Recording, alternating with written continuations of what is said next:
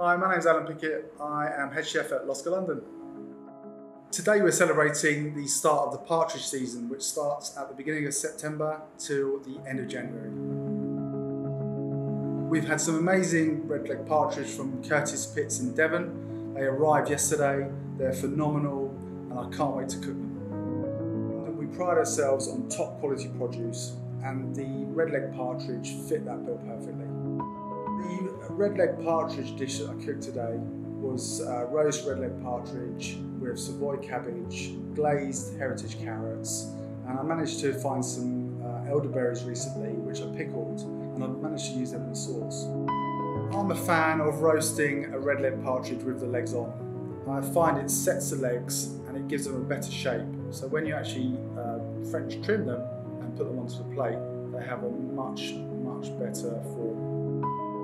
French trimming, I mean, with you when you have the leg, uh, what you're doing is just um, trimming the meat off from the largest bone in the leg, the actual uh, drumstick, so to speak, and you're French trimming that meat off so you can show the leg to the customer. And what I would imagine the customer does is pick the leg up and eat the meat off the bone like that. And normally you serve a finger bowl with lemon in. I love cooking with partridge. One of the reasons being it's so seasonal and also you get to use your fingers. We start with the butchery of the bird, so that means removing all of the excess feathers. Um, tie the bird up as well, which then, while roasting, gives it that really nice shape. Once we've tied it, we blowtorch the feathers off if there's any loose ones there um, and then put some thyme stalks into the cavity. So while the bird is cooking, it infuses with lovely wild thyme. Then we cook the cabbage um, in a little bit of water and butter and seasoning. And then the carrots are already cooked, so all we're doing on service is just reheating them in a little bit of water and butter again and seasoning. So all of those ingredients come together fantastically. The sauce that we have is a red wine jus, and then it's just finished with elderberries and a little bit of the pickling vinegar, and uh, it's liaised with butter. And means to thicken with butter.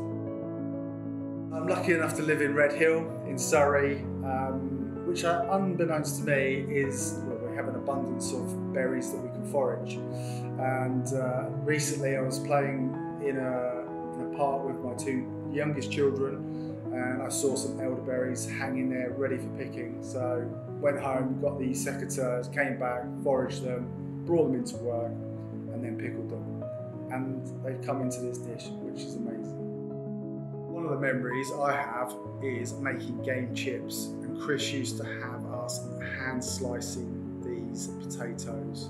But the, the wonderful thing now is we have a potato called Jim's Choice potato, which has the right balance of starch. Um, and what we do is we peel the potato, we slice it on the mandolin. Once it's sliced, we just wash the potato off just to try and release some more of that potato starch. And then we deep fry the slices at about 165 degrees centigrade. And they'll go a beautiful golden brown colour. Once they're cooked and they're really crispy, and that's the, wonderful thing about Chip's Choice, is it will go crispy won't have any soggy, soggy uh, chips there. Pull them out, drain them off, season them with Maldon sea salt, and there you have also an amazing bar snack as well.